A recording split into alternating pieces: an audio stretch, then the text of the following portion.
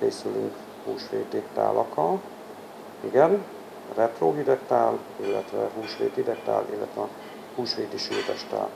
Ott jártunkkor ugyan még nem volt roham, de már érkeztek a húsvéti megrendelések ebbe a beregfürdői étterembe. A retro hidegtál része a majonézes krumpli saláta, rajta fasírt golyókkal, illetve a francia saláta tormakrémes sonkatekercsel. Divat, tehát egyre nagyobb a rá kereslet is, mi megpróbálunk minden igénynek megfelelő tálakat összeállítani a kedves vendégeink számára. Többféle tállal készültünk húsvétra, ebből kettő hideg tállal, ami elvitelre kapható nálunk, illetve egy elvitelre és itt fogyasztásra készített húsvéti sültes tállal készülünk. Igen, és akkor 11.30-ra írjam? Jó, rendben. Felírtam. Köszönöm szépen. Ebben az étteremben nem emelkedtek az árak a tavalyihoz képest.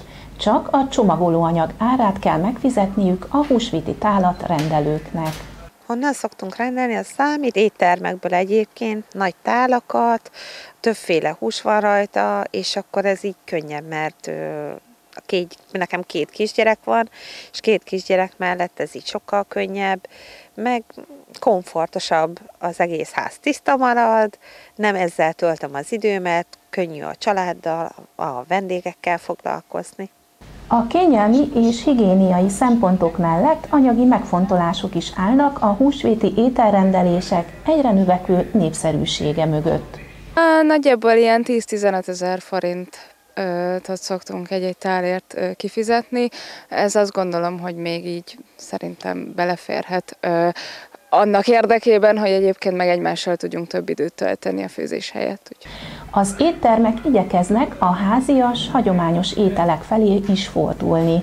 Tojáskrémes sajtekercs, kolbász, vagy éppen házi sonkában sült mangalica pástétomot is kínálnak megrendelőiknek.